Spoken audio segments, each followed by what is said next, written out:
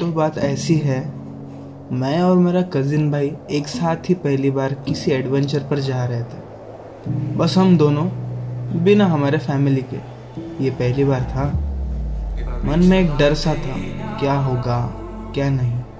सब चीज़ें ठीक से मैनेज होगी या नहीं होगी। लेकिन एक सुकून इस बात का भी था कि सब चीज़ें पीछे छोड़ा है। इस शांति से भरी जगह पर कुछ नया एक्सपीरियंस करने के लिए। ये है हमारी कहानी धर्मशाला की।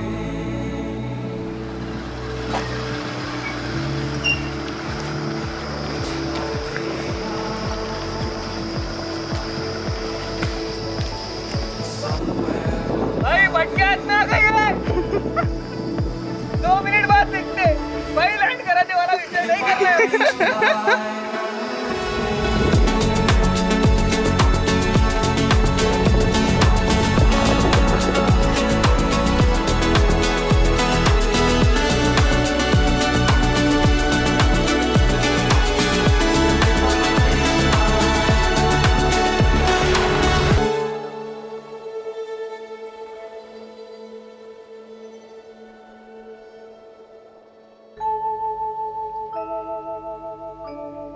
इतना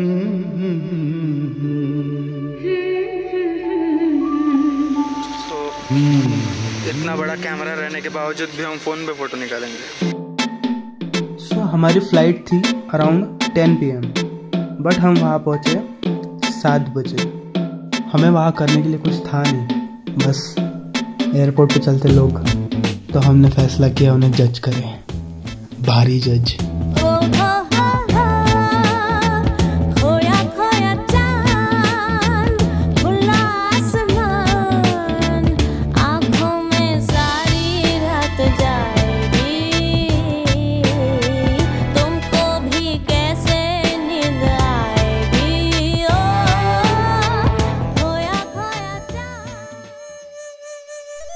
मोनेस्ट्रीज मोनेस्ट्रीज में जितनी पॉजिटिव वाइब्स आती है ना, शायद ही कहीं और आती होगी। वहाँ की शांति, वहाँ का डिसिप्लिन और वहाँ की एक पॉजिटिव ऊर्जा, वो इतना ज़्यादा फील होती है ना, बयां नहीं कर सकता। हमारे रिट्रीट से कुछ ही दूरी पर एक मोनेस्ट्री थी, जिसका नाम था ग्यूटो मोनेस्ट्री वहाँ हमारी मुलाकात सेरिंग भाई से हुई। और कुछ समय बाद एक इजरायली कपल आके सेरिंग भाई से कुछ सवाल पूछने लगा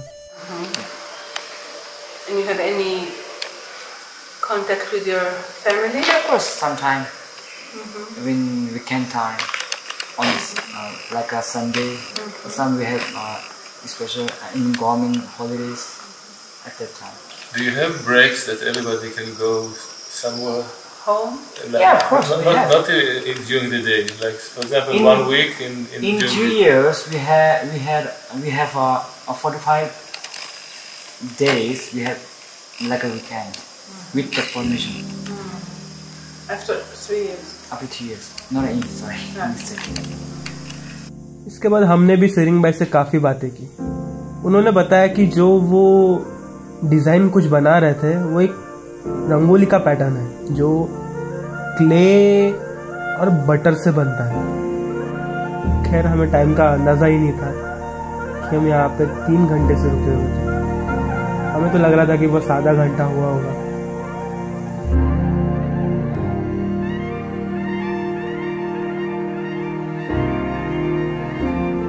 मैं उनसे एक बार और मिलना चाहूँगा।